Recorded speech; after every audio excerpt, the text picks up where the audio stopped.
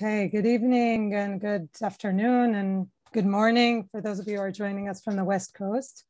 We have over 100 people signed up for today's uh, meeting, so we're going to continue to let them in, but we want to be respectful of your time and our tight schedule, and we want to make sure we have uh, enough time to cover everything that we have planned, so we'll begin the program. For those of you who don't know me, my name is Sigal Yaniv Feller. I'm Deputy Director at JFN Israel. Uh, but before that, I've been a lifelong environmentalist, many, many years, both in the philanthropic community and the environmental community in Israel. And at JFN, we encourage peer interest groups where groups of funders come together around mutual fields of interest. The Green Funders Forum, the forum that you've joined today, for those of you who are not familiar with it, is a, our largest peer network at JFN, and it provides knowledge, tools, and uh, networking to help funders come together and strategically address Israel's pressing environmental issues. Just to be clear, it's a non-solicitation space, it's a safe space, and we treat it as such, and we only let members of the philanthropic community join. But it's not exclusively for JFN members, it's open to anyone from the philanthropic community. The Green Funders Forum is a resource for fellow funders, no matter what your funding areas are. It's a place to come and learn about the issues and to also learn how to act in case you want to act. I believe we're all here tonight for a reason, or today for those of you who it's still morning where you're at. And I don't only mean the reason being Marla and Marla calling you, which is a great source and power source, bringing many of you up to this call. Um, you might be here because your children are asking you what you're doing about it, or because the fact none of us can ignore climate change anymore. We're watching the news, we're seeing what's going on around the world and in Israel, and the world is changing. And I think many of us are wondering what we're going to leave behind us and what we could do about it. And I, I think we, we all understand that now is the time to do something about it. Um, so this is really the reason behind today's session. We can't run these groups without energy. In our case, we have environmentally friendly energy, and that's Marla Stein. She's really the live spirit who co-chairs the Green Funder Forum with me, and she's been leading this important effort. So Marla, I really can't thank you enough um, for your partnership with the Green Funders Forum. And thanks to funders like you, it's what makes the issue constantly be on the table and on the agenda for us and for many other funders who care about it. And I'm handing it over to you. Thanks, Sigal. And by the way, it is just amazing that you are so personally committed to this issue. Many thanks also to Gil Yaakov, maybe raise your hand, who is the consultant to the Green Funders Forum. And really, we are a team we could not, we work together so well, and it's really a blessing. I am Marla, Marla Stein, and I'm the co-chair of the Green Funders Forum, which is the address for people funding in the environment or who are interested in learning more. The growing climate emergency presents a serious risk to the pursuit of all philanthropic aims. All aspects of society will be affected and all aspects of our philanthropy will be affected. We have no time to lose. We, with less than 10 years to act, all funders, whatever your mission, field of expertise, have an immense potential for positive impact. It's time to plan our role as individual philanthropists and collectively. This is particularly timely as the world countries are coming together in less than two weeks to tackle climate change in the United Nations Climate Change Conference in Glasgow. So we at the Green Funders Forum decided to devise a five-part series to get members of the philanthropic community up to speed on the core principles, challenges, and opportunities to make a difference. In the coming session, sessions, we will cover how the climate crisis intersects with other topics. We'll give you examples of what's happening on the ground and we'll discuss tachlis game changers where, where philanthropy can make a difference. We'll be delighted if you can attend all five sessions, but each session will be standalone in its own right. The next session will be right after Glasgow on November 16th, and will focus on the intersection of climate change with other funding priorities. Be sure to register for that session as well. We are putting the registration link in the chat. In addition to learning opportunities in the sessions, participants are eligible for a free consultation meeting to explore personal philanthropic strategies around this issue. We will also share resources for funders following each session. With that, we are honored to host member of Knesset, Professor Alon Tal, followed by Minister Tamar Zandberg, the new Minister of Environmental Protection. In this session, we will share an overview on key terms and facts, updated information, opportunities, and the urgency for Jewish philanthropy to act. We will give time for Q&A following each speaker. Please note your questions in the chat. And now I'm honored to present member of Knesset, Professor Alon Tal. And I have to say, having known Alon for many years, I'm so emotional, even just saying member of Knesset. It's so exciting. Alon is the past chair of the Public Policy School at Tel Aviv University. He is one of Israel's leading environmental voices. He has founded some of the most important organizations in Israel's environment, including the leading advocacy organization, Adam Teva the Arava Institute, which is dedicated to collaboration between Israel, the PA, and Jordan, and most recently, the organization Tzafuf, the Israel Forum for Demography, Environment, and Society. Alon has published and edited 11 books and over 100 academic articles about Israel's environment. His forthcoming book is called Environment, Climate, and National Security, A New Angle for Israel. Alon was the recipient of the prestigious Charles Bronfman Prize and, his, and leads own philanthropic fund, the Tal Fund. Welcome, Alon. Thanks so much, Marla. And again, a big salute to Gil Yaakov and Sigal for bringing this forum together.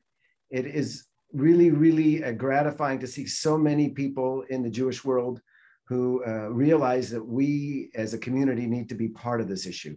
And certainly in these days, for those of us who go to synagogue or just follow the, the, the Torah readings, you know, two weeks after we read about uh, Noah and the ark and the the covenant that God makes after the flood and says, We're, I'm not going to destroy your planet anymore. And it's pretty clear to me that God's kept his side of the bargain. It's not so clear that, clear that we are.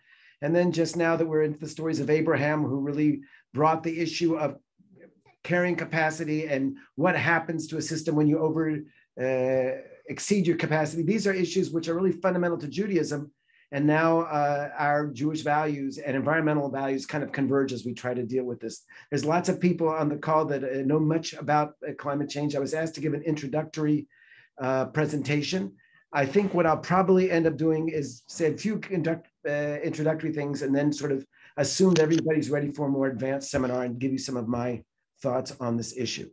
So um, I'm calling this particular uh, presentation, you'll give me a second to get organized here. Um, Israel's response to climate change, 10 points that are germane for philanthropy. But I want to start with just a few basic concepts because I understand that not everybody is in the same place. When I think about the global warming, I think about a down comforter. I think about the fact that when I'm cold on a uh, an unheated house or in a cabin and I throw a blanket on, it warms me up. When I throw a second blanket up, more heat is captured. And as I get uh, the third blanket on, things start to feel a little bit better. And that is the, no, the, the, the nature of greenhouse gases. The more we put out there in the atmosphere, the more heat is trapped. And uh, without greenhouse gases, of course, the planet would be almost uninhabitable, it would be freezing. But the fact that we have, over the past 100 years, certainly since the Industrial Revolution, uh, been increasingly um, re- releasing to the environment carbon stocks, which have been in the earth for so long, have created a thicker blanket that existed. And of course, they're not talking about very large quantities to change the balance, but we know that these are the hottest years in the recorded history of the planet, and it is having remarkable effects. Climate change affects all aspects uh, of life, certainly the physical environment, from the, the way the coasts look to the way the, the forests are, the animal communities that aren't always able to adapt as quickly as they might, the, the droughts and, and the like. I wanted to say one more thing that one of the critical things to remember is that climate change is a lot, a lot, a lot of public policy challenges. We have a tendency perhaps to distill it down to the importance of renewable energy. And yes, renewable energy in general, in Israel, particular solar, is critical. But in a global context, that's less than 30% of the, uh, of the actual uh, emissions, around 30%. And we have all the rest of the 70%. In Israel, maybe 40% of our emissions come from electricity. But when we think about other areas, just the, the meat on our plates or the, the garbage and the way we dispose of it, and the way we travel, these all matter a great deal. To make the point clear, in Israel, one factory, the Ramla Nesher uh, cement plant, produces 6% of our emissions. If we don't figure out how to make cement cleaner, we're not going to be able to succeed. So it's a, it's a host of challenges. I want to share with you sort of 10 quick ideas that I have that uh, might be of interest to you. The first of all, let's remember this is a regional issue, that the region is considered to be a hotspot uh, literally and figuratively for climate change. We see unbelievably hot uh, temperatures, and that's the reason why we put out this book about um, security. Anybody who looks at what happened in Syria knows that it was five years of consecutive drought that produced the uh, collapse of agriculture, which uh, basically was the turbulence that created the instability and the tragedy there. So we cannot divorce ourselves from the issue. And we see all over the region record temperatures coming on uh, line 50 degrees and up basically in many towns, except uh, places in Cairo or Baghdad, if you don't have an air conditioner, that is the difference between life and death. Old people are not always able to get out of their places. In Israel, we joined the 50 degree company for, uh club for the first time, even in Israel. And I'm talking 50 degrees. Uh, maybe somebody can give me a thing. I think we're talking about 130 degrees these are the kind of things that we see at the peak temperatures of, Death Valley for the American. Uh, it's amongst us really, really, really hot when we see these kind of temperatures. And the scary thing, of course, is that it's just going to get hotter. Uh, at a day-to-day level, we see changes in Israel. Uh, so that I always tell uh, my students that climate change is no longer the dreary projections of Al Gore. It is our new uh, weather patterns. Uh, we have seen a um, basically a two degree increase over the last 40 years with I know it's good to hear young voices because they're, they're, the ones who are going to uh, suffer the, the, hot temperatures. But just realize that our uh, temperature increases in Israel are twice the global averages. Our sea rise is more than twice the average uh, uh of the world. So everything that you read about that could happen is already happening in Israel. And I'm talking about the flooding that we see in our cities during the rainy seasons, which are uh, here they are coming. Um, frequency of fires. We had a massive fire in Jerusalem, but it wasn't even as big as the big one we had the year before that in, in Nazareth. It's uh, partly due to nationalistically based arson, but the impact is so big because it's so dry. So we know that in the region, uh, there is a water shortage, and places like Jordan are being pushed so hard that water has become a destabilizing issue. Israel has an interest because of the new drought patterns to provide water. We know that the Dead Sea is disappearing, partly because of the uh, diversions, but basically because the Kinneret, the lake uh, of the Sea of Galilee, which consistently provided water to the Jordan River, can no longer do it because the water uh, precipitation has dropped so quickly. And here you can see sort of the average drop. But this is what we're looking at in terms of the trends here. Look at the um, tributaries to the Jordan River those that supply our Kinneret, our historic uh, reservoir. And you can see that the, the, numbers are dropping. This is just, you don't have to be a genius to see that. And the fact that the Kinneret recorded its lowest level in history, recorded history not long ago. So we've had two good years of rain, but still salinity increases because, as you know, more heat, more evaporation, less water. So that the this was one of Israel's major successes in ecological restoration. The Kinneret. I'm very concerned if these numbers continue to climb, that the fish stock there will not survive.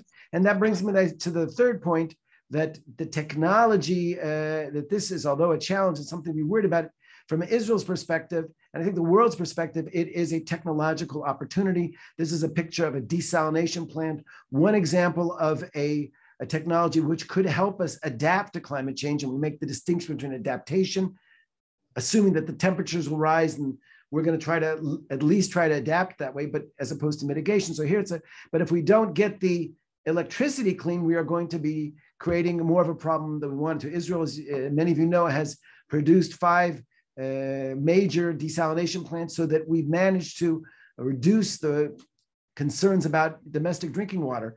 But uh, it also gives us a chance to share some of this water with Jordan. So when we think about the, the agenda, we need, I think, especially with the renewed uh, cooperation and the new atmosphere in the region with our government, um, we can uh, talk about that. And we know that the uh, ability to save the uh, Red Sea requires a, the Dead Sea requires a regional effort Maybe it's going to be in the Red Dead Canal, which is to produce clean uh, electricity and bring water to Jordan as well as that.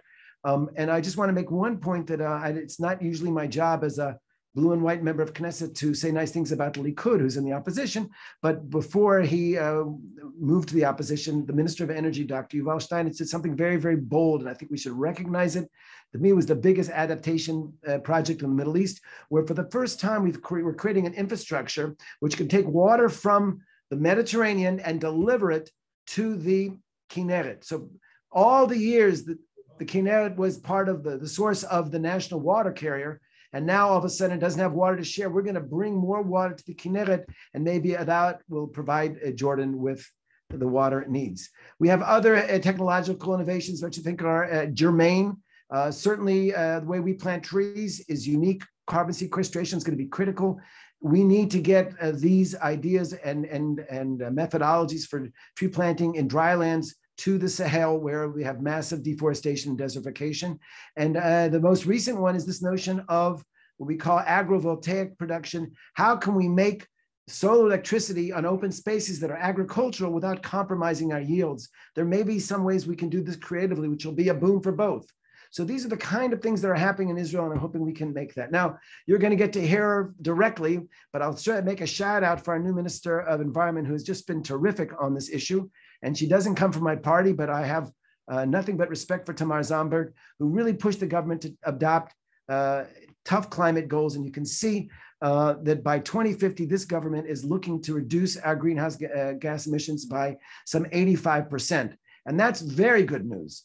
The less good news is by 2030, the, the, objectives are far, far smaller. So, for example, if Joe Biden has promised that by 2035, America will have 100% renewables, sadly, in Israel, uh, we're only talking about 30%. And I believe we could be pushed more. And it's the Israeli, I'll talk in a minute about these Israeli civil society, which is pushing us and actually writing the climate uh, change law, which uh, Minister Zandberg, I think, will be able to uh, shepherd through the government. But it was the civil society, which was supported largely by philanthropy. Many of the people in this room, in this chat, have that. Um, but like I said, it's also emerging as an, a local issue in, in, Israel, where municipalities are really realizing they can't uh, not be part of the solution. Certainly in adaptation, we have major problems with drainage. We have uh, all kinds of issues with uh, set, trying to set standards for shading as Israel gets hotter. And uh, for those people who are interested in supporting local grassroots initiative, there is so much to be done in the climate sector. And indeed, we saw certainly in the US during the years when the federal government was not playing the game, either if it was the Bush years or the, the Trump years, how cities stepped up and an Israeli cities sort of took an ex- uh, example of that. And we've been very impressed, both in terms of green building standards and um, encouraging renewable energy. This particular, just an example, Nof HaGalil, formerly Nazareth Illit, has now uh, producing so much energy off the roofs of its public buildings that it doesn't pay electricity bills anymore. So these are the kind of uh, innovations that we need to have if we're going to move forward as, as a group. Now, it would be, um, I think, disingenuous for me to talk about the issue of climate change without talking about the role of population globally. You can see it's a pretty clear issue. If the world's population was still two, three billion people, we would not have a climate crisis. But as the population increases, so do the emissions. Every child born is born with the right to have a carbon footprint, a water footprint. But as the world pushes forward towards a population of an eight and nine, and eventually, who knows, 12, 13 billion people, we're going to be in trouble. And when uh, scientists at the University of British Columbia did such an important study to look at what can individuals do to reduce their carbon footprint, they said a lot of things are important, and we all know what they are. There, you know, uh, don't use your uh, clothes dryer and eat a plant-based diet and get rid of your car. But more than anything else, almost 50 times more was their conclusion: have one fewer child. And that's something which we don't like to talk about in Israel and in the Jewish world because it's sensitive and we're post Holocaust, but we have to talk about it. You can see what's happened on the planet. Why is it that the OECD emissions for greenhouse gases, the warming Earth is dropping, but the non OECD, the developing countries, are going up? It used to be that rich countries produced 75% of the greenhouse gases. Now it's shifting, and that is all about population. Jordan is an example. They're up now in the close to 11 million people, and here's their emissions, just like that. Egypt, 2 million, million people every year, and they also are having massive increases. And Israel um, is the is the, is not the champion in the region, but we went from uh, basically one to, to uh, nine million people in in uh, 70 years and our carbon uh, is, is extremely high, and it's because of our high birth rate. So those are issues we don't usually talk about, but I think if we're thinking systemically, if Israel continues to double in size, it'll be hard to meet our goals. The good news is, is that civil society is waking up and the youth of our country are leading the way. Here is a uh, sit in, sleep, and whatever by the Youth for the Climate Straight. And I think, Marla, you've had some of the representatives on uh, JFN discussions, but every time I meet these uh, high school students who, incidentally, are well represented in both the Jewish and the Arab sector, it gives me hope and they uh, roam the Knesset halls and grab us and are constantly holding our feet to the fire and saying, don't forget us and don't compromise because at the end of the day, uh, when we put emissions in the atmosphere, they're going to be there for two or 300 years. We have to think about this as an intergenerational justice issue. This uh, next Friday, we're going to have once again our national climate march. We had two years of cancellations due to the COVID crisis. I hope it'll be a record number of people, and uh, and this is an, a really important initiative. I know that our our foundation supported it for several years, including this one, because we really believe this is a way to bring people together. And on this issue, I'm so happy. I just want to shout out to my colleagues in the Knesset. This was the first meeting of what we call the Green Legislator Group every single faction of every party in the coalition. You've got here Mossi Raz from Meretz, and you've got uh, Ram from Labor, all of my colleagues. I don't want to go through them. Each one of these are environmental champions. And so when I got to the Knesset, I found there are lots of partners, and there is a whole lot of laws on the table and support for it. And so I, I think that this is what we call sort of a a perfect storm, as we say, uh, et ratzon, a shat in terms of our ability to change the reality. Um, recently, Israeli young people, this is a college student, Michal Deutsch, uh, hunger striking. These uh, young Israelis take it seriously and are forcing old timers like me to, to realize that maybe we need to really realize that this is a crisis. And indeed, I expect the government will declare it one soon. Um, um, so one other matter that I want to say is that we cannot in Israel deny the fact that there is a new president who takes climate change extremely seriously, who is leading the way. Um, I'm trying, by the way, if anybody has a connection to John Kerry, we're having the big Knesset event uh, in uh, here. I'm, I'm organizing for next uh, Tuesday. All Israeli uh, participants and those who can get over here are invited to join us in the big auditorium.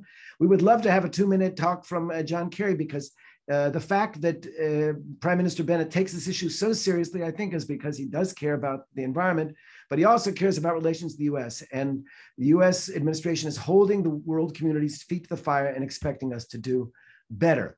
Um, and the other point I really wanted to make on this issue is that philanthropy matters. And here I gave, you know, from environmental education to uh, efforts in the Supreme Court to litigate progress and, and, and push the government to meet its needs. And here's local city councils. The civil society in Israel has been, uh, I think, an increasingly uh, vociferous force demanding change. And slowly but surely, it is starting to uh, take hold. And that would not have happened without the support of many uh, of the of the foundations and funds that are attending this and out of there. And, and those of you who have been involved, I want you to know that your money was very well spent. It is the best investment in uh, our children's future, in the, the Jewish state's contribution to this global challenge.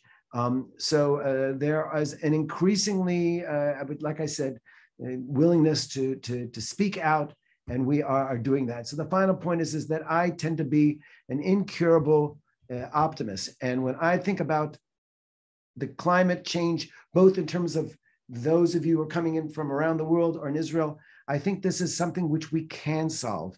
And we can solve it because almost all the technologies we need are already here. And what we need is a whole lot more political will. I'm trying to do what I can here in the Knesset, um, but certainly uh, it is much easier to operate when there is an ecosystem out there of environmental organizations. And I'm talking not only about uh, Israeli environmental organizations, but the wonderful Jewish environmental organizations, organizations like uh, Hazon, and and um, the, the, everybody's involved in every synagogue and every Jewish organization should be part of the solution because it's too big for any single institution to take it on. We all need to be partners, and like I say, it's a it's not a spectator sport. We need players. By you guys coming to today's discussion, you are players, and I'm grateful for that. I think I'm just inside my 20 minutes or 19, and so we have time for questions. Thank you very much. Alon, thank you. That was exactly your time frame, and you did an excellent job in conveying. I think it was like an annual course that you just were able to condense into uh, into like 20 minutes. So what uh, what we'd like to do now is anyone who would like to ask questions from Alon, please note them in the chat.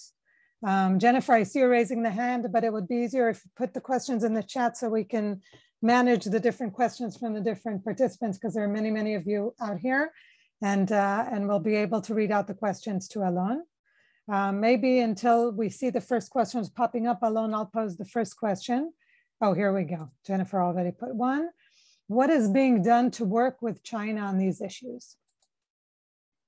Beats me. I mean, we know that almost all the panels, the solar panels on Israeli roof, are, roofs are made in China. And when there were supply issues, uh, it did slow us down a little bit.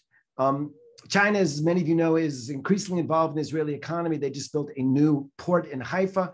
There was a they bought the, the, the leading Israeli dairy, Chinese investors. So there is some concern that maybe we are becoming too dependent. On the other hand, uh, China produces more renewable energy than any place else in the world, and uh, they have um, technological abilities that I think would be foolish to ignore. But I don't know of any specific diplomatic issue which which uh, highlights climate. I, I'm unaware of that. Okay, thank you. Another question is someone who grew up in the in the civil society and who actually raised many of the environmental organizations in Israel and now working from within the cap the Israeli Capitol Hill, the Knesset, what are the things that you see from there that you didn't see from here? Well, the first thing I realize is that uh, when people complain about the Israeli bureaucracy, and it seems like a, just a you know, it's sort of like an excuse. It's very real. I just had my first uh, law go through a preliminary reading, and it's a little law about, you know, reporting about biodiversity, and six different government ministries objected to it. No, they were in favor of the law, but you want to do a monitoring of the sea. Well, that's us at the Ministry of Energy. Well, you want to have the cities involved, but that's us, at the Ministry of Interior. So it's very, very hard to get things done, certainly as an individual um, legislator. The difference is, is that uh, we have a very unique political situation. For those of you who aren't aware, uh, we have a very razor thin majority, 61 to 59, actually 60 59 put this government in place. And as we say in Israel, I'll say Kol Mamzer Melech, every bastard is a king. In other words, a member of Knesset could bring down the government tomorrow if he falls asleep and doesn't go to a vote. So he could also bring the government if he doesn't get what he wants in terms of climate legislation. So hopefully, all everybody will use this uh, unbelievable power responsibly. But I think that's something I didn't realize that in this particular unique opportunities, we could push the government on these kind of issues more than we could. And it's not just one member of Knesset, like I said, there is a, a remarkable uh, team of Green legislators from every party. Great, thank you. Um, another question, you've touched it a little bit, but tell me if you, now that you have a few more minutes to elaborate about the role that you see for both civil society and for philanthropy backing up civil society, and where does the role of civil society end and the role of the government begin in your eyes? Well, uh, we unfortunately have a situation where in the past, several functions of the government which were not filled, were filled in by Israeli civil society. It started in the 1950s when we didn't have any nature con, uh, rangers. So the Society Protection of Nature in Israel, the oldest and largest and fantastic uh, environmental group, sent people without real authority out into the field to sort of monitor protection of nature. And, and there has been the sense that, well, we'll let them do it. It's certainly true in Israel in terms of the way we deal with our food uh, and security issues and the like. So um, I would like to see civil society, which does things which the civil society does best. First of all, education. We need to have a transformation in so many ways. The way people look at the world, in the way uh, I mentioned the, the, the diet. There, there's so much ways we, we need to start uh, taking kids at a young age and telling them, no, it's not okay to eat meat four or five times a week. Israel's number one in the world in chicken, which is a little better than beef, but not a whole lot. We need to, to really uh, change those kind of issues to uh, really uh, not only push decision makers to make more public transportation, but get on the bus or the train and leave the cars at home. And, and I think that there's a lot that civil society can do that. And at the same time, civil society is extremely apt in Israel. We don't call it lobbying because then we would get into all kinds of trouble with the uh, tax exempt status in the US. But I'm educated constantly by representatives of civil society organizations across the board from, from animal rights to large environmental groups to the Parents for the Climate Change, a wonderful new organization, Children for the Climate Change, and, and not just my doors are open, I see them, uh, Israeli legislatures, because you are so overwhelmed with uh, so many issues. You need the help of these experts who come with very practical solutions. And how do you correct this law so that it doesn't cause damage? So I, I would say that, that these are areas where civil society has been hugely successful. And finally, we know that although we now have a government which is extremely attuned to the environment, there may be a change in the future at some point, at which point the courts will be very, very important. Creating environmental standards have proven to be uh, something which matters because Israeli courts will enforce them. And that's another area. And the final thing I want to see, because I see a friend on the screen who is uh, the chair of the, um, the council for, for uh, which deals with uh, religion and, and, and environment. There's a lot of spiritual um, dimensions to environmentalism in general and climate change in particular. And I think that civil society is able to bring those message in a digestible way, even to a secular public, and explain to people that we need to be in harmony with the earth and that it's not all about how much money you can make and how many uh, you know cars you can put in your garage or whatever. We have several other questions. I'll try to cover them all. It seems that climate change has to do with all the ministries, yet only the environmental ministry deals with it. Maybe there is place to think of the holistic function, National Center for Climate or such, that will look at policies for each and every one of the ministries rather than throwing it only at the small Ministry of Environment. So well, translate climate change to each and every one of the ministries. That might be a question also for Tamar Zandberg later. I think it would be. I mean, Tamar will, will say, well, the, the answer is to give me more uh, funding. And I will say in her uh, credit, you can say Alon Tal uh, saluted her. She managed to bring 600 million shekels to uh, the issue of climate change, which is more than twice her regular budget. So uh, good, good honor. But I, I uh, would argue that the Ministry of Energy has become a full partner in the issue. Uh, uh, Karine Elharrar, our Minister of, uh, of Energy, is a remarkable woman. She very quietly, because she's not a, a boisterous, aggressive person, but she managed in her own effective way to bring 2.5 billion shekels to renewable energy and energy efficiency programs in Israel. And that's a, a staggering amount it's it's a, a, fraction of what we need, but given to what we've had in the past, it's a lot. So I think the Ministry of Energy is moving on. She just made a very very bold declaration. She will not issue any more gas or oil exploration licenses. That's over. That transition period too is, is and she's only going to push this. So so there is there are other partners there that I think are important. I think the Minister of Agriculture, uh, Oded Forer, is on board, very concerned about how can he provide uh, better given the heat shading and how can the Ministry of uh, for uh, Agriculture, which is responsible for forestry, use the good offices of the JNF? So there are other partners. And that said, whoever asked the question is correct. There needs to be a holistic thing. There needs to be a, and a, a, maybe run out of the prime minister's office. And there's a lot of different suggestions. There needs to be some sort of an altered, just like they're doing in the United States, where they have somebody in the White House who makes sure that everybody's on board. Transportation, I haven't talked about. Uh, our Minister of Transportation gets it. But again, there needs to be a lot of coordination.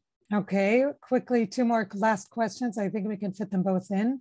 Through the Abraham Accord and or BIRD or other US-Israel initiatives, what is being done to advance the science on H2O energy storage, fusion, or other issues?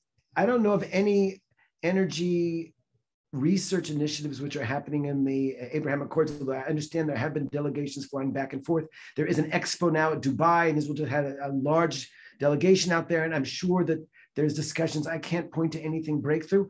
There is also a darker side to our relations with the uh, with the uh, United Emirates, and I don't mind taking a uh, moving into the um, somewhat more controversial realm. Uh, there is an agreement between a new Dubai-based company called the Red Med company, which bring wants to bring 70 massive oil tankers of oil from the United Emirates to Eilat use our existing infrastructure for oil transfer and bring that to Ashkelon.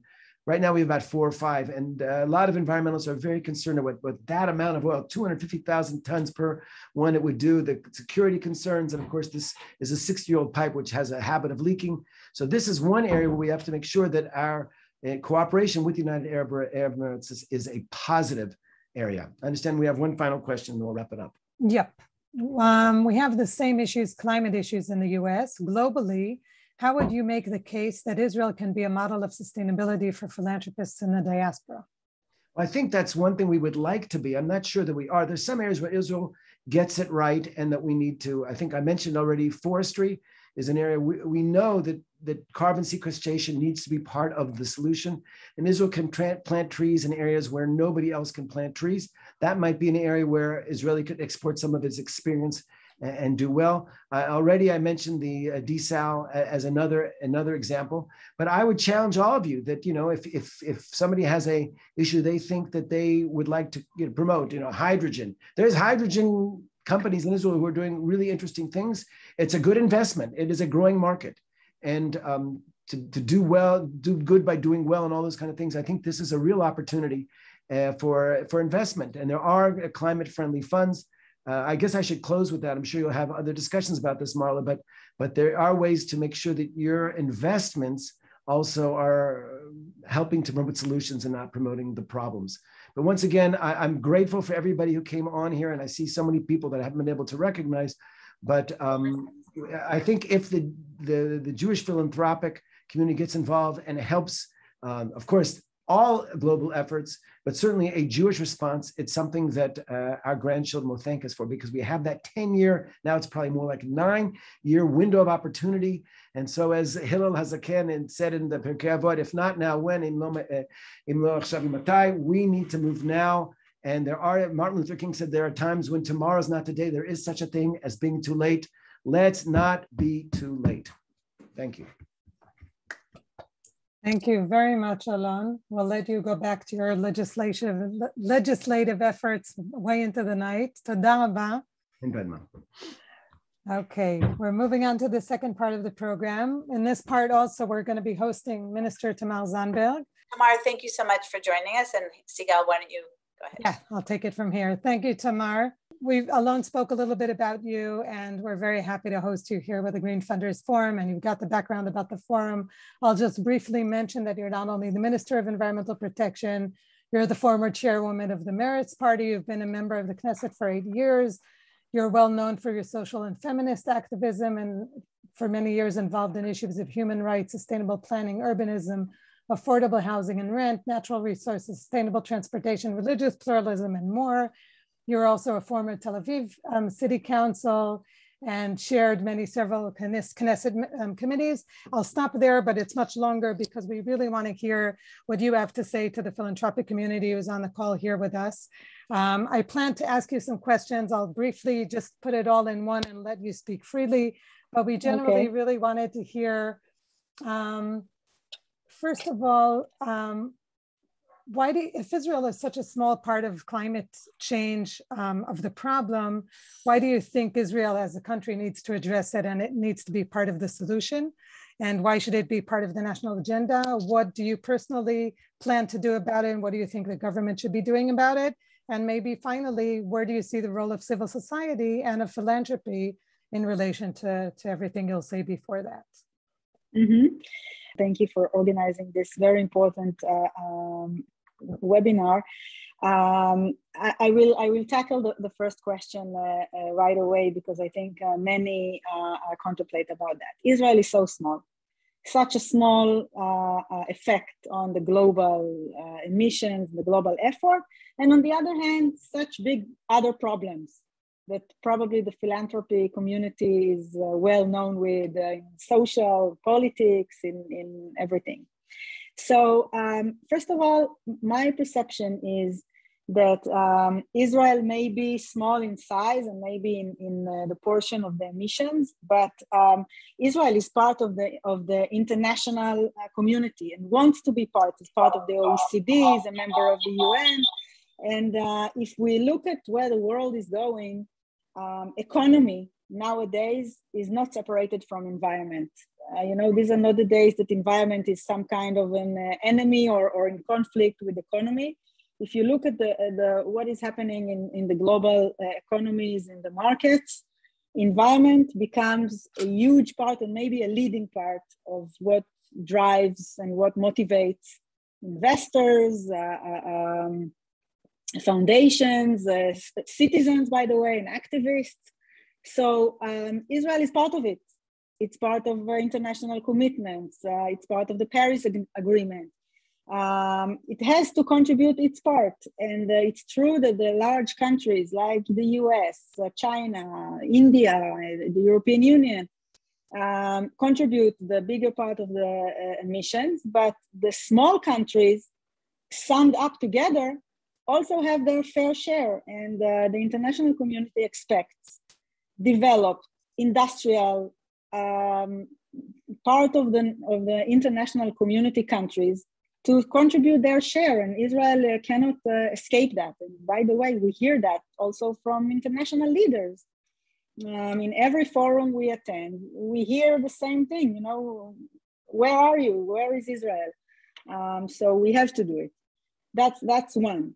Second, um, Israel may be even if it if, even if even if we take that notion that Israel is a small part of the contribution to the global emissions, Israel is widely uh, influenced.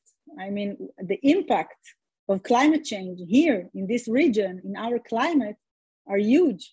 We are uh, um, recognized as a hotspot. You know, the 1.5 degrees the entire world is trying to prevent by 2050. We already reached that a few years ago. We are in a dry, uh, hot climate uh, along the sea um, and we will be widely affected from floods, fires, uh, the rise of the sea level, um, our national security. We are uh, uh, we have a, um, land uh, connection to Africa, to Asia.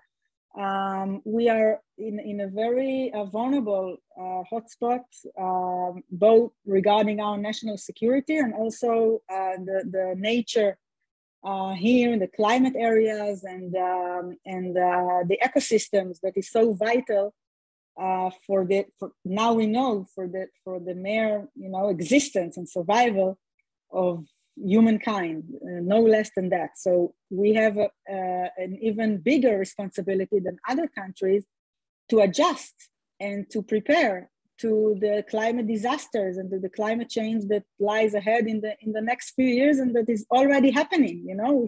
In the past we thought that this is something uh, of the future that we will leave our children or grandchildren. Now we know that uh, it is already happening and the ipcc report from uh, from this summer showed it very very clearly um, and third and that is maybe very uh, um, uh, relate, something that, that most people know about Israel, uh, know, know Israel as a startup nation. Israel has its innovation and technology in fields of not only energy and climate, but also food tech, which is highly connected to uh, climate, and uh, many other uh, um, innovation and technology sectors that Israel can contribute to the world um, and, uh, and have a much bigger effect than just on reducing the emissions within our borders. And this is something that uh, I keep telling my colleagues in the, in the government and the prime minister that is very invested. And you know, Prime Minister Bennett has a background in uh, high tech and, uh, and startup industry. And I keep telling them, you know, um, we are developing innovation and technology, but we cannot only export it outside. We have to also implement what we the, the knowledge and the innovation that we have to share and we want to uh, we want to spread. We have to implement it first of all uh, at home. Um, so these are three reasons why israel is in, in a very uh, uh in a very on a focus and in a very uh, good position um, on the verge of, uh, of the climate uh, of the climate change and, the climate change discourse uh, globally. Um, and I think that many of the philanthropy activity that is already happening, and I know there is, there is a huge interest in climate and environment right now, is also very much uh, um, it's very implemented into fields that are already uh, in action in philanthropy because the world is now speaking about uh, just transition. How do we make this transi- transition to a low or zero carbon uh, economies and societies with, with uh, leaving no one behind, with uh, taking care of minorities? Um, for example, for us in the, uh, in the Ministry of Environmental Protection, we are about to launch a very, very big uh, program uh, to address the um, to address the, the Arab society um, waste uh, management and climate change uh, uh, adaptation um, with, with a special regard to minorities and how the uh, we make sure that no one is more affected and especially the weaker um, communities and, uh, and, and, citizens and people, men and women, um, that will not be over uh, affected by uh, climate change uh, um, situation and, and especially disasters. so um, this is in the very uh, heart of everything we do in, in the in the philanthropy, and I, I think that I hear that from many many places that uh, this is a booming uh, issue and a booming uh, subject right now. Many are interested in, and I think the the civil society and, and philanthropy um, in Israel uh, must take the next step um, into uh, um, how how does the, the, new the new world of climate change uh, meets us in everything we do and how it is implemented into our already uh, what we are doing in policy, in philanthropy, in business, in, eco- in the economy, um, in social change, and uh, basically everything because we are entering a new world. And uh, if we don't lead, uh, we will be left behind, and we don't want that. Thank you, Tamar. So first of all, I'm, I'm reminding everyone, if you have questions, please post them in the chat and we'll bring them up to Tamar. Um, I'd like to start with one question, and that's towards the Glasgow Accords and the summit. What are the next steps for the government, and what what is your vision really? What are the what are your next steps as minister, and what are you hoping to achieve in your tenure as the minister? Okay, so um, no, no question that the Glasgow COP26 is is a benchmark in, uh, and it uh, tackles us in the beginning of the of our term because we're just recently we we uh, uh marked uh, hundred days for this government, and you know the hundred days.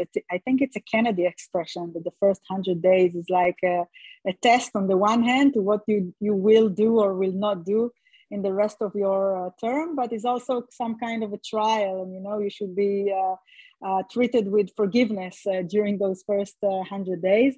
So we had a very very busy hundred days. We were managed to uh, to design the new the new nation budget after three years that it was not passed.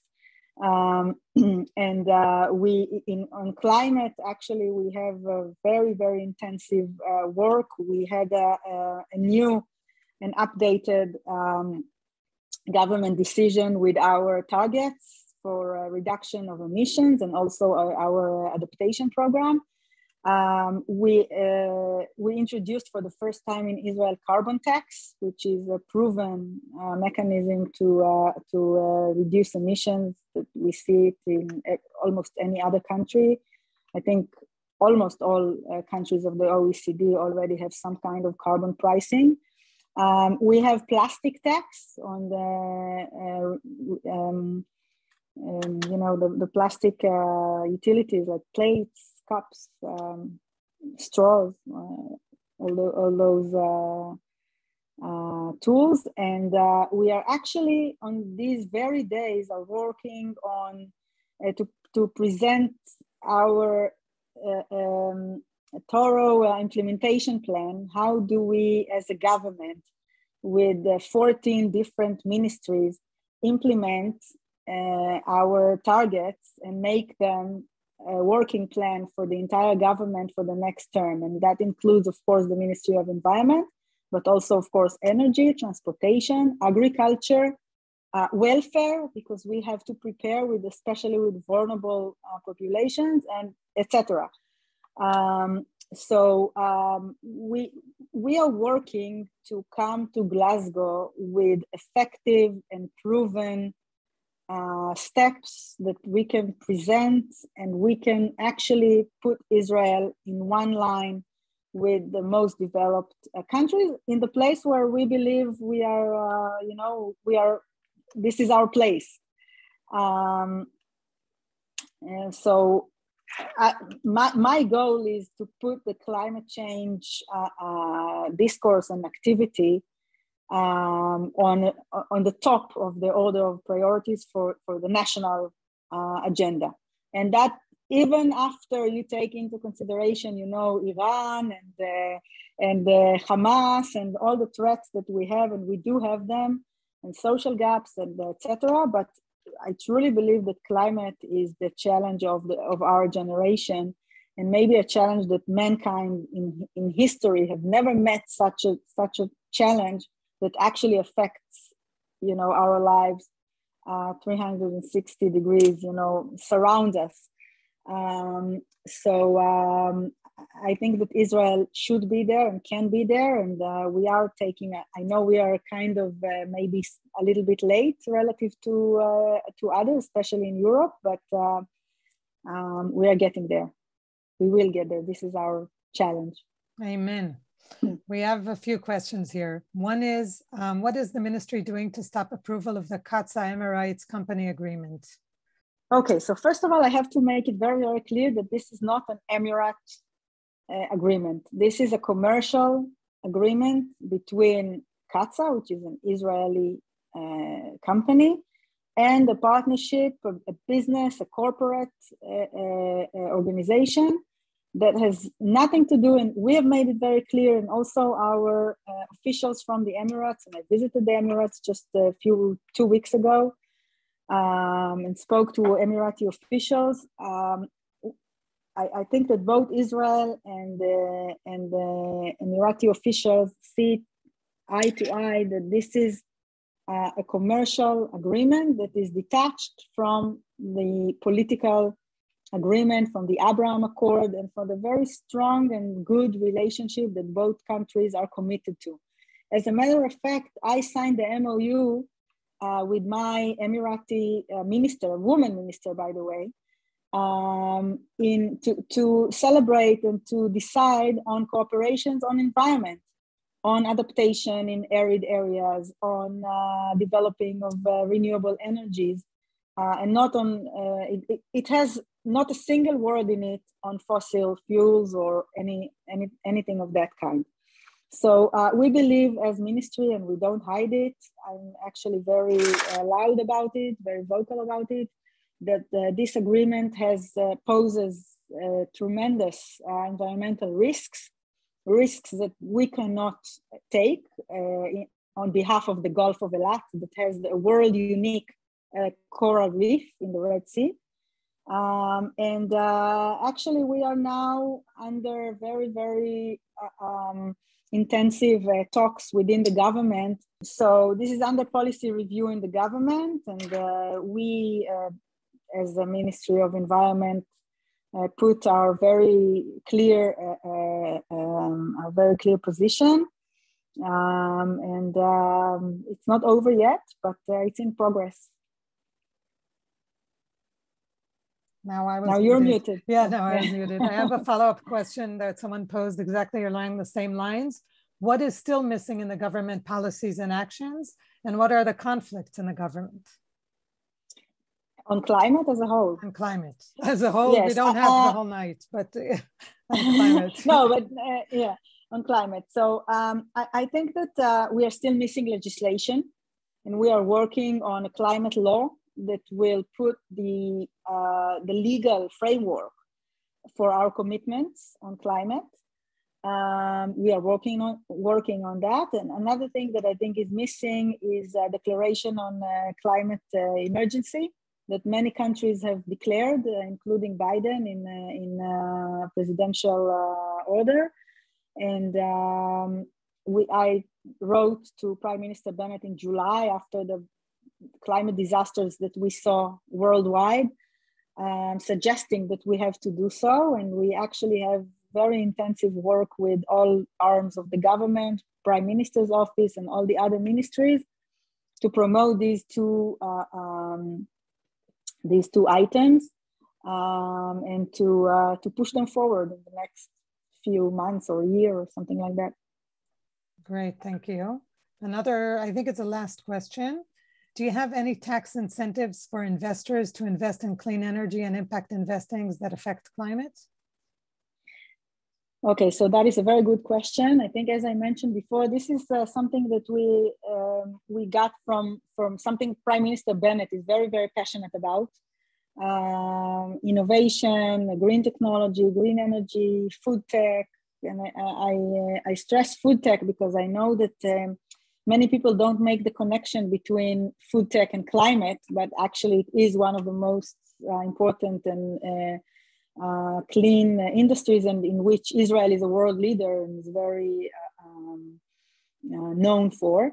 Um, so we are now working on several uh, uh, different um, um, areas to uh, to work on uh, um, helping and pushing and encouraging uh, and promoting the Israeli clean tech, uh, energy tech, food tech, waste tech, um, uh, uh, recycling tech, uh, all, all, all fields of, of environment and climate um, to make and I mean, really, the sky is the limit on that. I mean, we are working on uh, several ideas. Some of them will uh, probably um, be um, recruiting uh, investments and, uh, and tax. And I mean, I, can, I, I'm not sure I can uh, give all the specifics right now, but um, Israel will will push forward very, very strongly on that uh, very soon. And I think this is something really worth, you know, following on. And uh, we took it, and uh, you know, everybody, Prime Minister's office, and really, it's it's very, very like this. Next week, we'll have a reception and the President's Her- President Herzog's uh, residence uh, to celebrate the, uh, the delegation to Glasgow, and we'll have some startups presenting there. And this is something really on the focus of our uh, of our uh, activity. Um, and uh, I think we also I don't want to neglect some of the philanthropy that is not you know business oriented that we are also developing. I mentioned the, Arab community and the Arab minority, but we also have many other uh, fields in, in case of, uh, in, in uh, terms of uh, nature-based solutions, in the, um, you know, nature conservation is a huge part of climate adaptation, especially in Israel, being so small and with so uh, such a dense uh, uh, spaces and uh, protecting our open spaces and uh, preserving our nature, our biodiversity is a huge thing for us. And this is something that as Ministry of Environmental Protection, we will really like to look into more closely and to have um, more rich cooperation with, with philanthropy bodies. So this is also something to take into consideration. Thank you. You mentioned the president, and I think I heard a rumor that his wife, who's also used to be a member of the philanthropic community, she led a foundation for many, many years until recently, um, that one of the issues that she's hoping to promote is environment within the president's house. So we're definitely going to reach out to her as the philanthropic community or the Green Funders Forum to see how we can collaborate with her.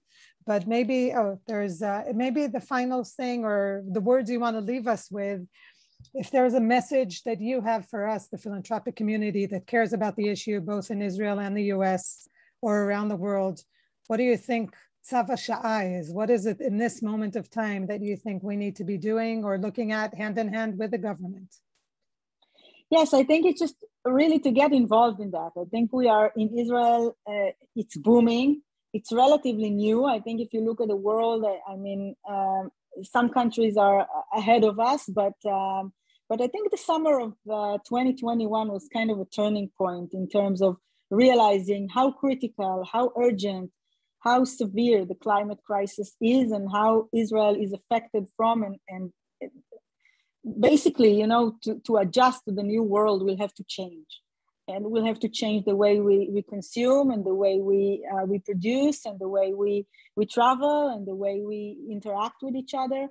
Um, and i think israelis are you know they look at it and they they ask themselves what's going to happen? And i think this is where the government the the private sector in in, uh, in the economy but also philanthropy enters to see how we make this transition just how we make it right how we lead instead of you know being dragged um, and uh, I think this is something that the phila- philanthropic uh, community must, you know, take must must take a lead in it because this is what philanthropy does. It takes it identifies what is not yet be- become a reality for for policymakers and and make it a reality. So we are here and we'd love to uh, cooperate on anything.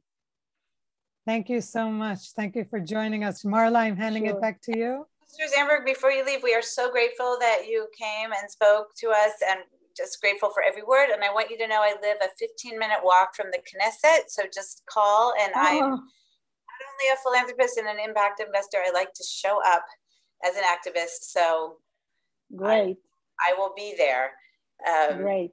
Thank you. So thank you very much. And also thank you to uh, Minister, a member of Knesset, Alon Tal, who um, had to leave the call earlier. This is really only the beginning of the conversation. We, we got to cover a lot of topics. I think it was fantastic that Minister Zandberg mentioned so many different aspects, but we hope we will delve into some of those in greater depth in the future sessions. So this is just the first of the five sessions. Uh, again, the next session is November 16th. I hope you can all join us. I hope you can join us for all the sessions, but again, feel free, if you can't come to all, just come to what you can.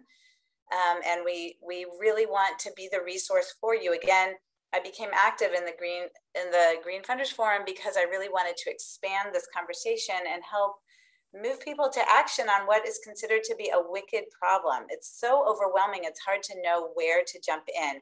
But we want to help identify those game changers for you and to help you understand where your philanthropy can make a difference, whether it's because you have a major giving category that is the environment, or whether you just you want to jump in because you want to make a difference with part of your grant making or with the intersection with your other issue areas. So please um, let us know what you thought about this session if you have thoughts for future sessions. And again, to tell you that we are offering free consultation uh, meetings with both Sigal and Gil to help move you to action with this very overwhelming topic. Thank you so much for coming. And thanks again to Sigal and Gil for all of your amazing management of the, of the Green Funders Forum. I hope you enjoyed it. See you at the next sessions and we'll be sending out the recording. Thank you. Yes. Bye-bye. Thank you. You can already register for the next session or just feel free to email Sigal or I directly.